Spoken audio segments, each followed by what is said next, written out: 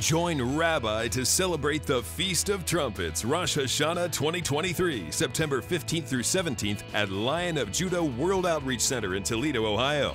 Visit discoveringthejewishjesus.com for more information. Service times are Friday at 7 p.m., Saturday at 1 p.m. and 7 p.m., and Sunday at 10:30 a.m. Make your plans to join other believers as we gather to expect, anticipate, and pray for Messiah's soon return.